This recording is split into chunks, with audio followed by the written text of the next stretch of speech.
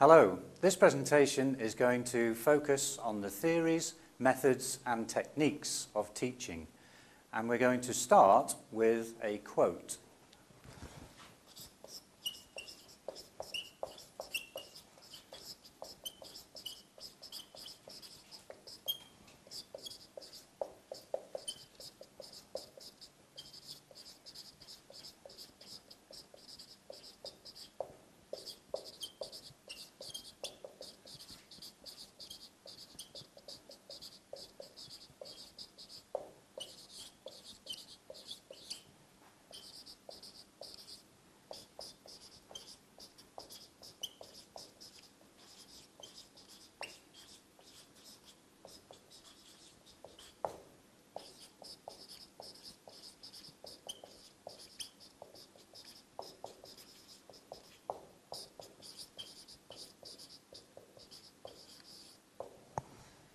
This is an interesting quotation because it contains within it a philosophical argument. And it's an, a philosophical argument the way in which we learn. Basically, this one is saying that the intelligence of their own children comes about due to a natural process. So this one could be said to be due to nature. This is exactly the opposite of this one, which is saying that their teaching, the environment that we create, creates that intelligence. So this one can be said to be due to nurture. And this argument, nature versus nurture, has been going on for thousands of years. These two viewpoints are two ends of a scale, or a continuum, if you like, and every teaching methodology that's ever been created has its starting point somewhere on this scale. For example, if a particular methodology has its starting point here, then that would be 50% due to nature and 50% is due to nurture.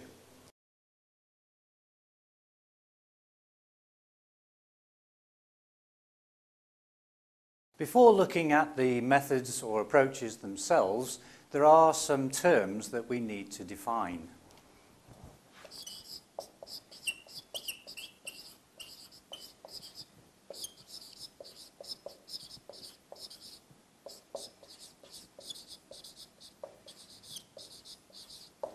These are the approach, the method, or the technique.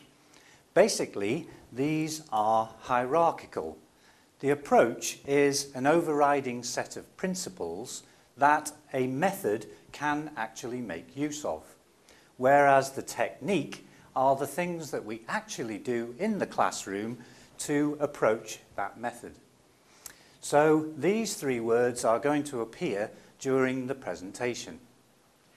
Again, for each of either the approaches or the methodologies, we're going to ask four questions. And those questions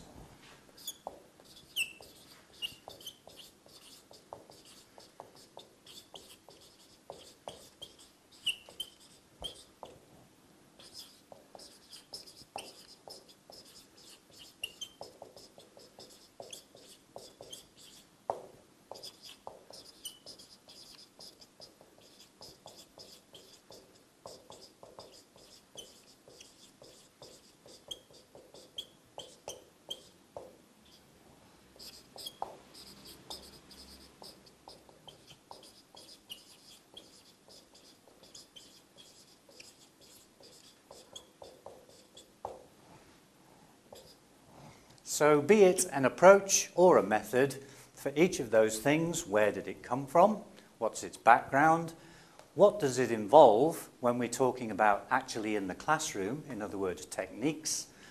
What is positive about it? What appears to work about that methodology or approach? And what is negative? What doesn't work so well?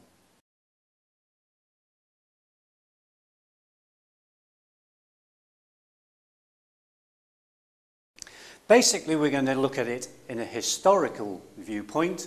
So we'll start with the oldest particular teaching methodology, which is known as the classical method.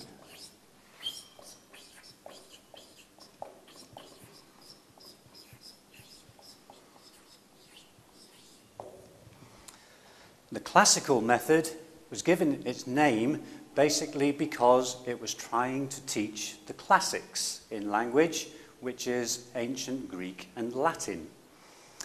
Those particular languages are now dead. This me methodology was probably started somewhere around the 17th century.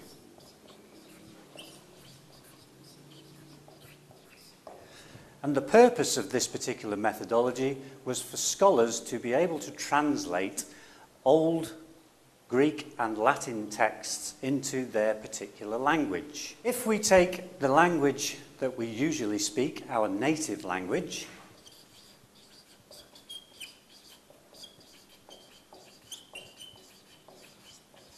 that is often given the designation L1. And the language that we are trying to translate that to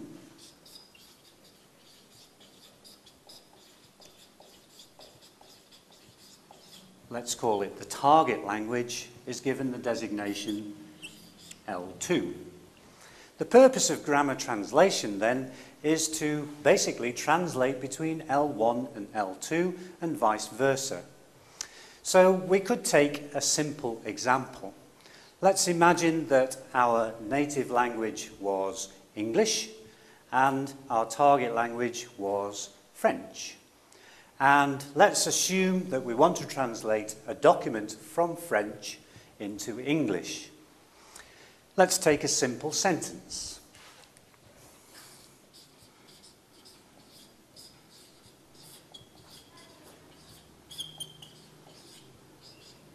Here's a sentence in French ouvre la fenêtre. And we'll add s'il vous plaît at the end.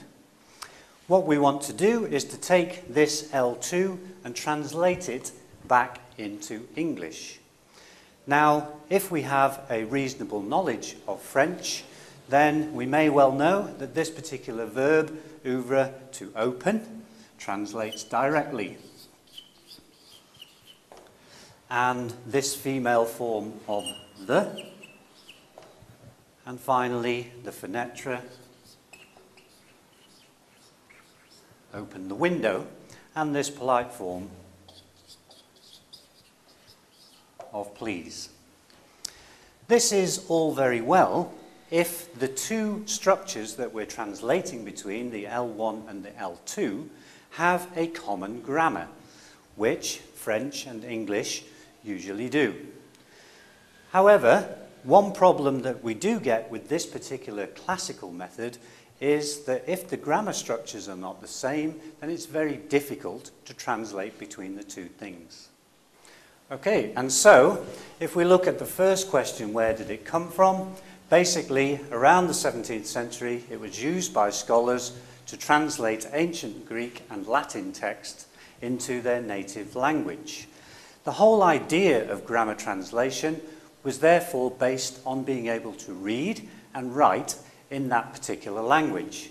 This methodology was never intended for the learning of speaking. Now, it's very strange that this particular method is actually the most popular method for the teaching of languages throughout the world. And we've just said that that does not involve speaking skills. So one of the main problems with the classical method or grammar translation is that it does not develop speaking skills.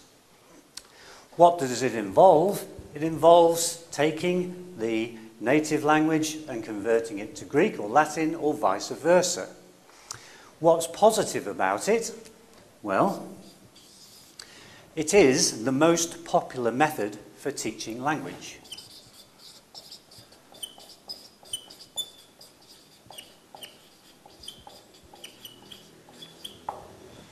And if your language structures, the grammars that you're working between are similar,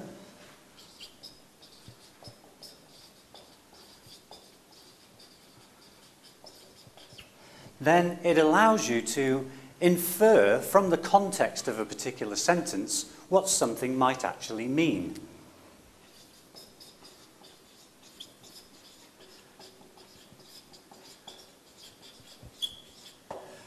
If we think back to the example that we translated at the beginning, which was ouvre la fenêtre, let's say, for example, that you had never seen the word fenêtre in French before and that you didn't know what it was, you could, from a very good knowledge of English, actually infer what that meant. We have ouvre, which means to open, la, which is the, so we know we're going to open something.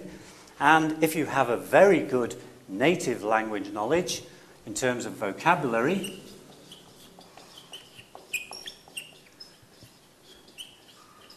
you may know the English word defenestration. And defenestration is the act of being thrown out of a window. So this has a similar root to fenêtre in French. So you may well be able to infer what that particular sentence means. In terms of the things that are negative about it, we've already said that it doesn't develop speaking.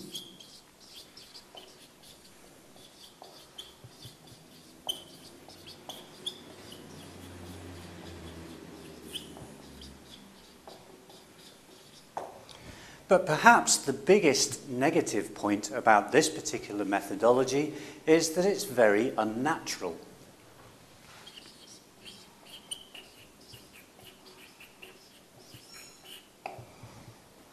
Okay, so despite the criticisms of this particular method, and particularly the fact that it's unnatural, this particular methodology was in use all the way through the 17th, 18th, and 19th century and indeed it's still in use today. However, Gouin in the 1880s and Berlitz in the early 1900s decided that this particular methodology was so unnatural that they wanted to come up with something new. And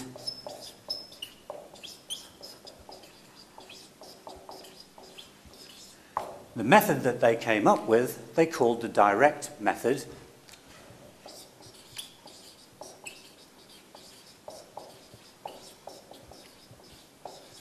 You will also sometimes see it as the natural method.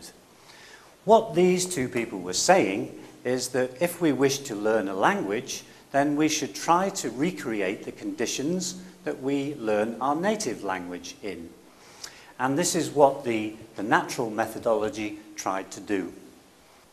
So what we're going to do is to run through a series of methodologies that were created mainly in the 1900s that adopted the idea that language learning should be much more communicative, much more natural.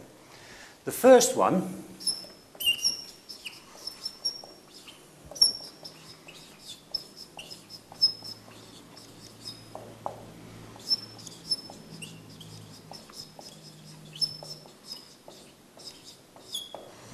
called audiolingualism and it's also called the army method because of where it was developed.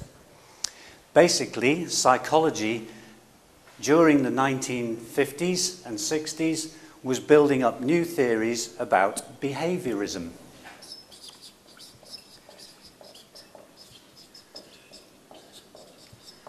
Perhaps the most famous experiments that were done in this particular area were by Pavlov where he was showing that most animals undergo a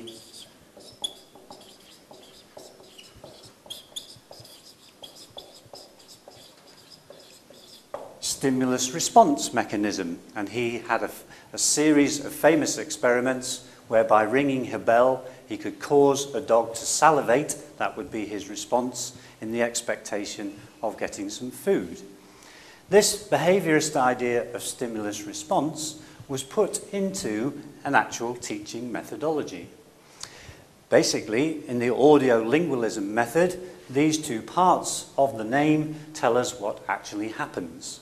Audio is to listen, and the lingual is to repeat.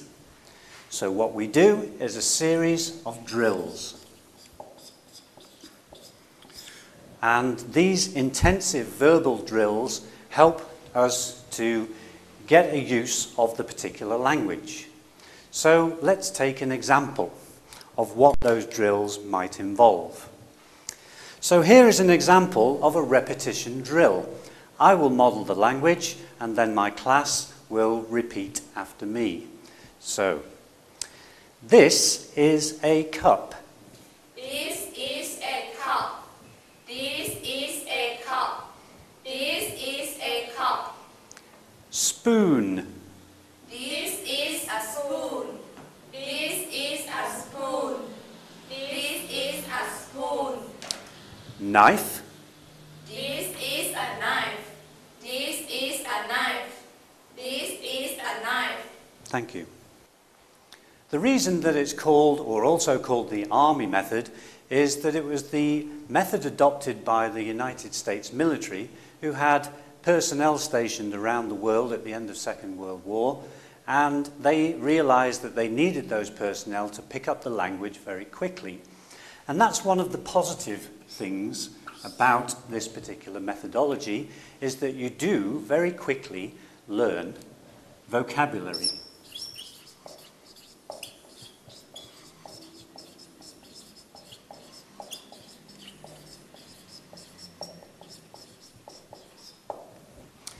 Another positive thing about it is that you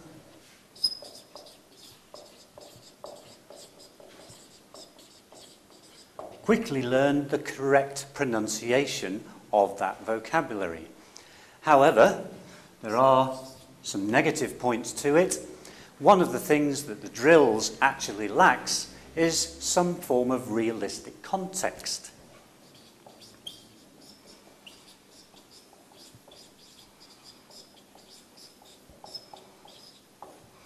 And the fact that these drills are out of context in, in any real situation in the world makes it very difficult to translate the knowledge that you pick up into a new situation. The second negative thing about it is that errors were very, very quickly tried to be forced out of the students, and it was realized that errors weren't, in fact, such a bad thing after all.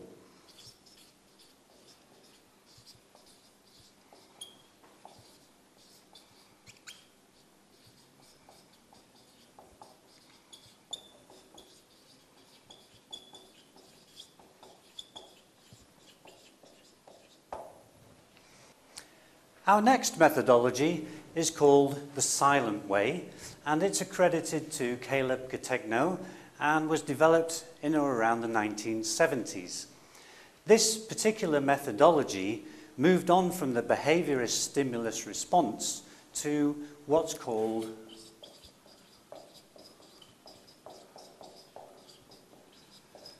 a theory of constructivism. And this constructivist approach was very, very different, very radical to anything that had been tried before. The background to this particular methodology was that there was a French mathematics teacher who found that his students were finding it very difficult to understand particular concepts. What he realized was that what they needed was a more visual representation of the information. So he came up with a series of colored rods to help with those concepts in mathematics. He gave his name to those rods, and they're called Cuisenaire rods. And there's an example of Cuisenaire rods here. What teachers of English realized was that if this constructivist idea of using this visual representation of rods worked for concepts in mathematics, why could it not be applied to the teaching of English? And this is what the silent way and Gattegno came up with. The idea is that each of these coloured rods would represent a different sound, a phoneme, if you like, and by using those rods, he could teach vocabulary and indeed grammar by using a series of coloured rods. One particular colour may represent one particular sound, and by putting those colours out in a series, he could represent the linking of those sounds into a particular word. And indeed, the length of the rod itself could tell you something about how long that sound should be pronounced. So if you were quite inventive and you were trained in this particular method, you could use this series of coloured rods to develop the pronunciation of words, move on to the next level into the way in which sentences are actually constructed by using the rods and so on and so forth. So, what was good about this particular methodology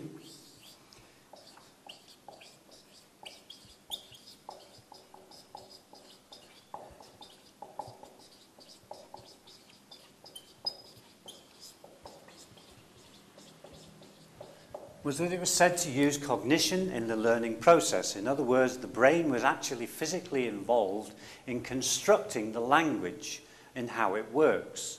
So we're really building up the language within our own brain. This constructivist idea is very much the same way that we learn our native language. The other positive thing about it is that it's very good fun. One of the main problems with this particular methodology is the fact that it uses all of these rods and phonemic charts and so on and so forth, so it takes quite a lot of learning.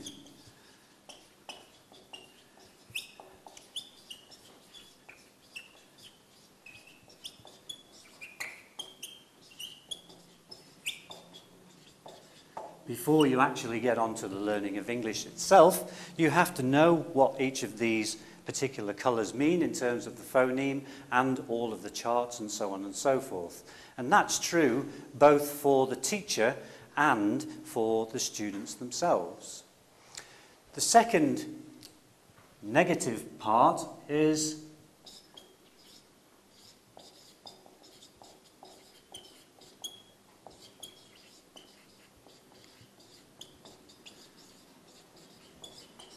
that you're actually too distant from the teacher. The whole point of the silent way is that the teacher would say as little as possible, apart from the modelling of language initially. And one of the main criticisms was that it was felt that this particular methodology was so far removed from didactic teaching, the teacher standing at the front and explaining, that students found it very difficult to learn. Also in the 1970s, Lozanov came up with a new methodology called Suggestopedia. As psychological theory was developing, one of the ideas that came up was something called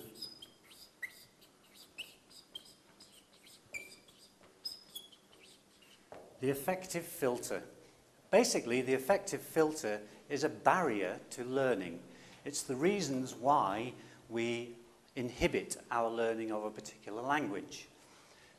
There are two main elements to the effective filter, two sets of factors, if you like.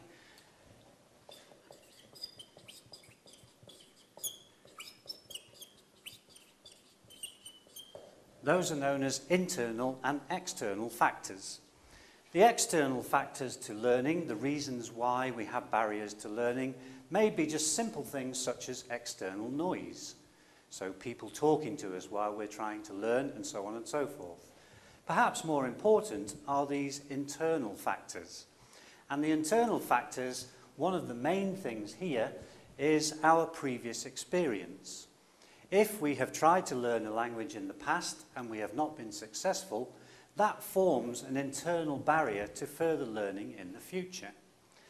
The idea of Suggestopedia is that we reduce this effective filter to its lowest possible value. Now, theory tells us that the effective filter has its lowest value when we're in the womb. And so one of the ideas of Suggestopedia was to try to recreate the conditions of feeling safe in the womb and our effective filter will now be at its lowest possible value. We will be the most receptive to learning at that point. So how do we actually go about teaching in this situation? Well, what we try to do is first of all reduce the effective filter through the internal and external factors down to its lowest value. So our students are made to feel comfortable, first of all, and then we have the use of music. The use of music in Suggestopedia is in different forms depending on which part of the lesson that we're in. The idea is in the first section, which is some, sometimes called the first concert, we use lively music, and this is known as the active part of the lesson. The idea here is that the lively music will start to get our brain waves moving around and put us into a receptive mood. Then, in the second concert, the teacher will introduce the target language, usually in the form of dictation.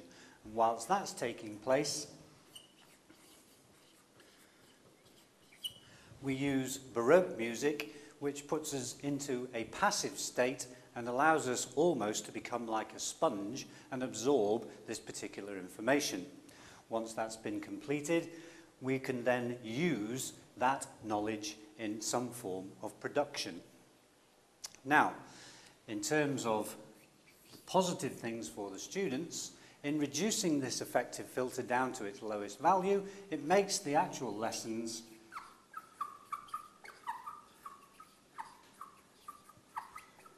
a very comfortable experience for our students. The second positive thing about it is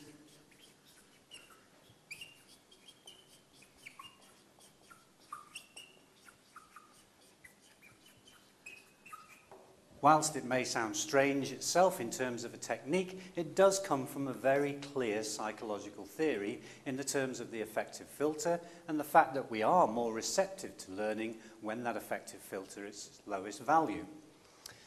In terms of the negatives, it's obviously very, very different to anything that we're used to.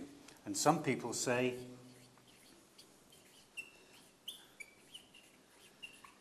It's just too different. The fact that it is so different can increase our effective filter in effect because we think it's not going to work.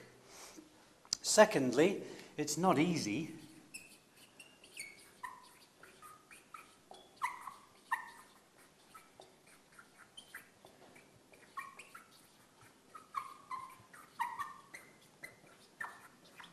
to create these ideal conditions that are necessary to reduce your effective filter. There aren't too many schools that would have the facilities, first of all, to actually produce all of these conditions. Our next particular methodology is accredited to James Asher around 1965 and is called total physical response. Asher looked at the way in which we learn our native language and he saw that most children, before they even went to school, had picked up a very large percentage of both the grammar and the vocabulary that they would use in their native language before any type of formal schooling. So Asher started to have a look at ideas of how to use the whole of our brain in language learning in the way that we do when we're very young.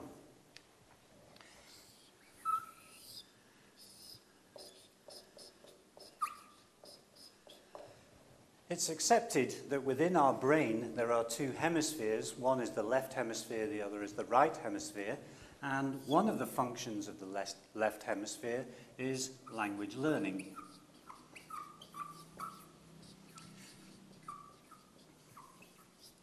One of the major functions of the right hemisphere is controlling our body's movement. And what Asher said was that when we are young, what we tend to do in the way in which we learn language is to use the whole of our brain, whereas formal schooling tends to only use half of it, only the left-hand side. So his idea was to try to introduce movement into the process of learning a language so that we're using the whole brain and therefore doubling the capacity of our learning within that process.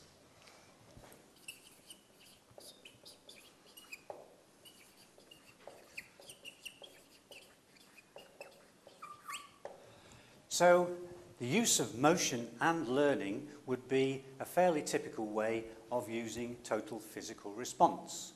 If we, for example, are learning the vocabulary of the parts of the body, then we wouldn't just listen and repeat those particular words, but we'd actually use movement. So if we were learning the word for our arm, we would move our arm whilst we were saying that word. If we were learning the word hand, we would use our hand whilst we were learning that word. And by bringing those two things together, it was shown that it would actually enhance the learning process. One of the main positive uh, points to this particular methodology is that it's very, very good for young students, for young learners. If you can get your young learners to be moving around whilst they're actually learning, then it will enhance the process of learning and they will enjoy it. And it's said to give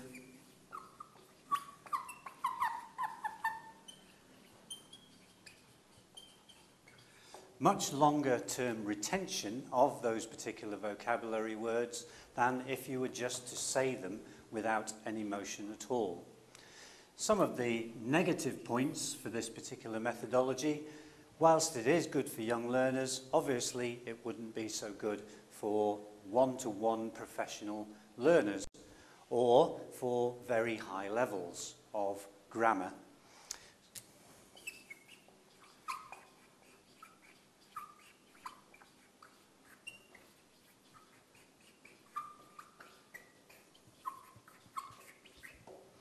One of the other requirements of this particular methodology goes back into the way in which we learn our native language. Within our native language, we are listening to what's being said around us, but there's a long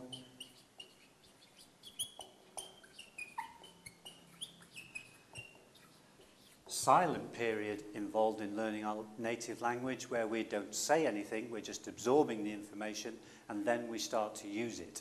This long silent period is part of the total physical response approach or methodology, and therefore we don't get immediate results from this. So before we move on to the final methodology for today, let's just recap and see where we are at this point in time. We're looking at different learning methodologies. Each of those methodologies takes its premise from being somewhere on this particular spectrum of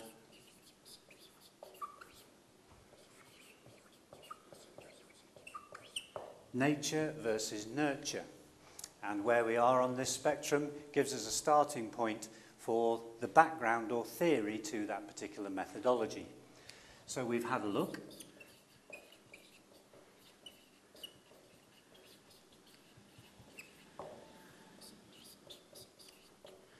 starting in the 17th century and the classical method, and moving on as the ideas of psychology developed to various methods such as audiolingualism,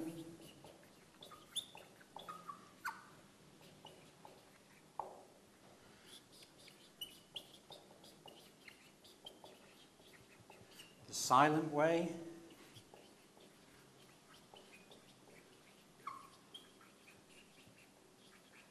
Suggestopedia, and TPR. Each of these showing a development as knowledge about learning increased. And each of these takes a different starting point on our initial spectrum. Our final methodology is accredited to Jeremy Harmer.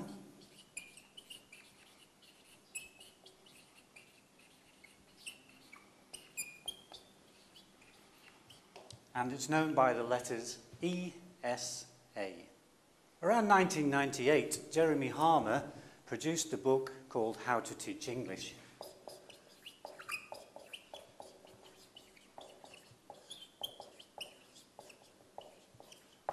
And basically what Harmer did as a background to this book is to do what we have done today and to work through all of the different methodologies that have come about over the last 300 years. He highlighted for each of those methodologies what was good about it, what was positive, and what didn't appear to work, and then put all of the positive things into a melting pot and came out with this methodology, which he called ESA. It's a three-stage methodology.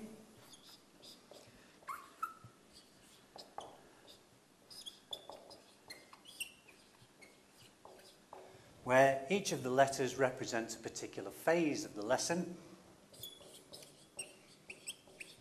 The first one being called the engage phase, the second,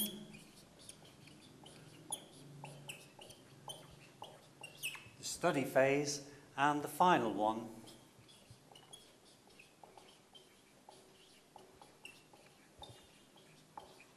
the activate phase.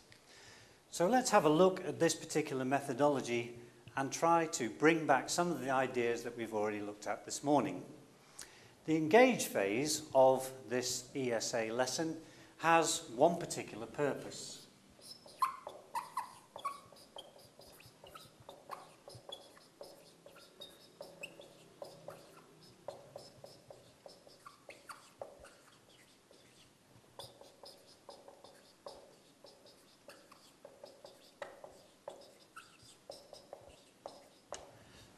purpose of that particular phase is just to get the students talking and thinking in English. We can go back to the idea of the effective filter, and we've said that when students are relaxed and ready, then that will improve their chances of learning. And the idea of getting the students talking and thinking in English is the first part of the lesson, just to relax them and to get them involved. Once we've completed that particular task, which is usually done by the use of communicative games, then we move into the actual teaching part of the lesson, which is called the study phase. The study phase has two particular parts to it. The first part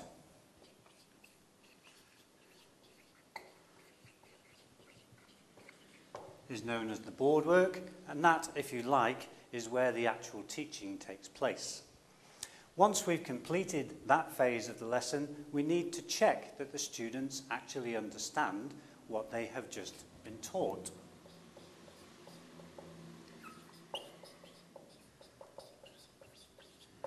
So what we do is then ask the to, ask them to complete a series of activities that are very targeted towards this teaching component to make sure that they actually understand it.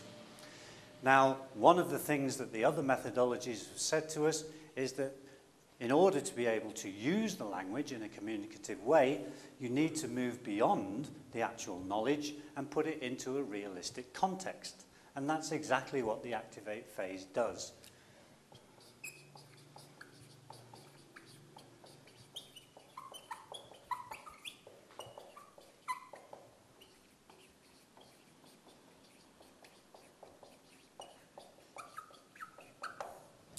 The activate phase of the lesson sets up some form of scenario or situation where the students can use the language knowledge that they've just learnt and put it into a realistic context.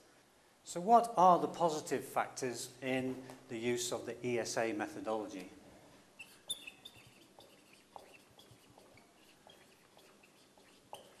Well, the first is that it requires communication. The activate activity and indeed the study activities require the students to actually talk to each other.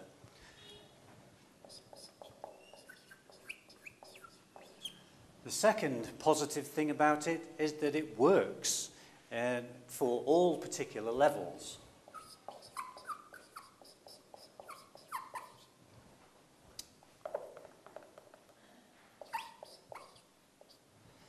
So all the way from our beginners up to our upper intermediate students, this particular methodology can be used.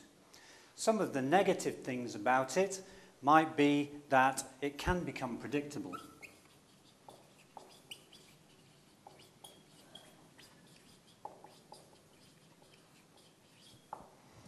If you follow that same structure of ESA every single lesson with your students, then they will get to know what is coming next. But within this particular methodology, Harmer came up with a way around that, and that will be, we'll be looking at that later on. The other potential negative for some particular countries is that the Activate activity requires the students to talk to each other